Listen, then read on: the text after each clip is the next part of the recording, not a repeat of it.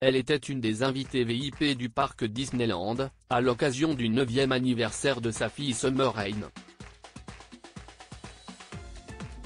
La chanteuse Christina Aguilera, qui a débuté sa carrière alors qu'elle était enfant au Mickey Mouse Club, a profité du parc d'attractions avec sa cadette récemment.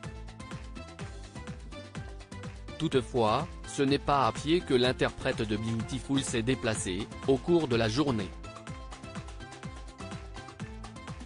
Elle a utilisé un scooter motorisé du parc, afin de se rendre d'attraction en attraction, rapporte TMZ. Un fait qui pourrait paraître inquiétant au premier abord. Cependant, il semblerait que ce soit dans le but de se remettre d'une blessure bénigne que la star de la chanson ait utilisé ce moyen de locomotion. En effet, une source proche de celle-ci a déclaré à TMZ que la chanteuse souffrait d'une blessure légère au genou. La star a donc préféré se préserver sur le plan physique en profitant des scooters motorisés du parc.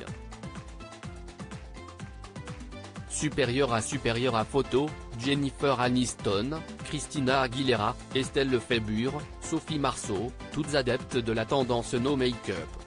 Une maman poule Summer Rain a vu le jour le 16 août 2014.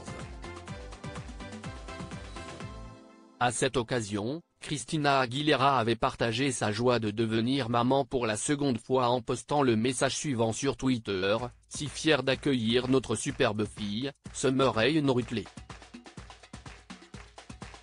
Véritable maman poule, l'artiste de 42 ans n'avait pas hésité à délaisser la scène pendant quelques temps.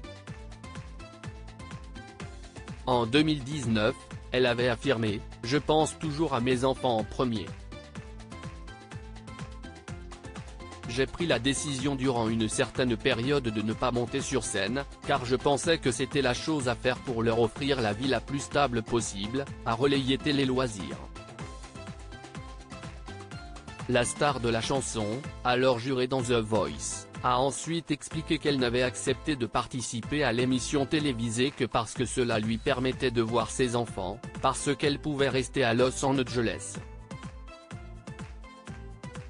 Article écrit en collaboration avec 6 médias Crédit Photo, Walter.